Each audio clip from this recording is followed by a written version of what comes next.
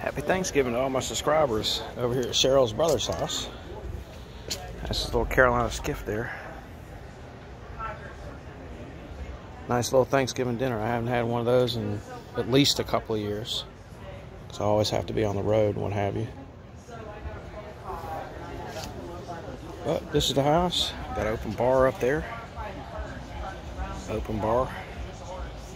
Of course, I won't be drinking tonight because I got to drive to Piedmont. Got the ball game on. Very nice. I deserve something nice after all the stress I've been through.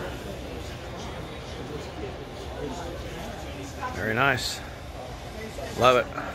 There's Cheryl over there sitting down. Some friends and family here. I'm getting part of the family. I like this. Just a bar there. Very nice. Jack out. Happy Thanksgiving to everybody.